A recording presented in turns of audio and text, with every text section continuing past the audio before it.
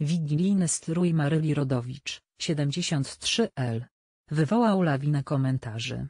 Jak dowiedziało się życie, na gorąco, sprawa ma drugie dno. O co w tym chodzi? Na czas, świąt odłożyła problemy na bok i cieszyła się, że te wyjątkowe dni może spędzić wspólnie z dziećmi.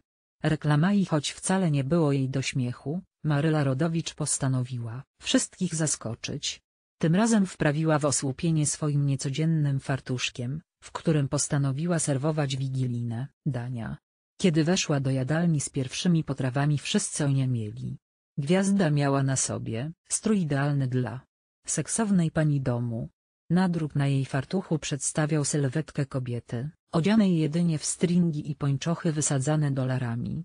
Ważne, żeby był efekt. Dla mnie liczy się ten końcowy. Są artyści, którzy nie prowokują i jadą. Cały czas są grzeczni. Posuwają się do przodu bez prowokacji. Ja uwielbiam prowokacje, mówi. Gwiazda zaskoczyła, swoją stylizacją nie tylko bliskich. Bo jej świąteczny fartuszek był szeroko komentowany w mediach społecznościowych. Dopytywano nawet, gdzie takie wdzianko można kupić? No właśnie.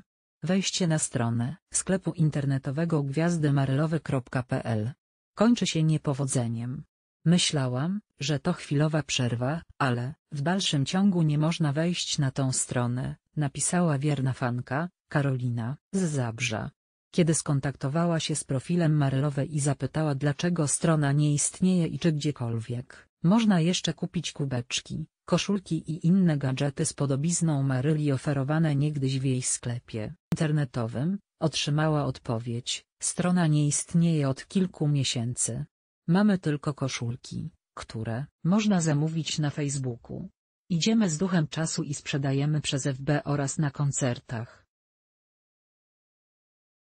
Wspierała syna w jego przedsięwzięciu pomysłodawcą sklepu, był najmłodszy syn Maryli Jędrzeja Durzyńskiego, Jędrzej.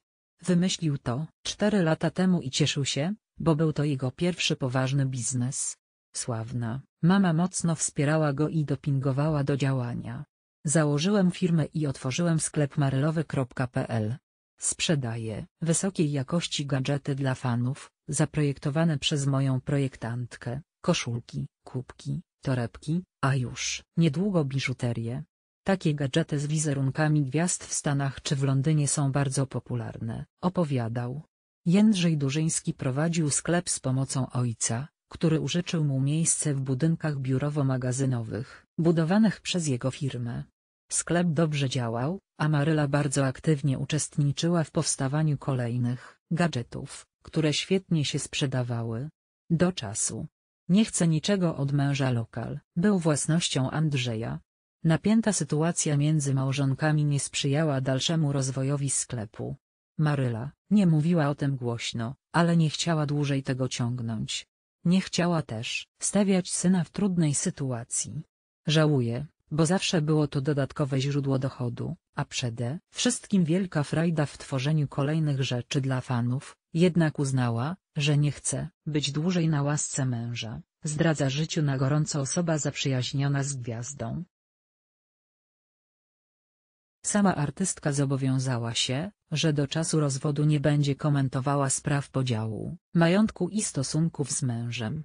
Maryla Rodowicz nowy rok rozpoczęła w pracy. Sporo wcześniej przyjęła propozycję telewizji Polsat udziału w sylwestrowej mocy przebojów na Stadionie Śląskim w Chorzowie. Mówiono, że w tę noc zarobiła prawie 100 tysięcy złotych kiedy pracuje, nie myślę o problemach, a tych mam nadzieję mieć coraz mniej, wyznała tygodnikowi.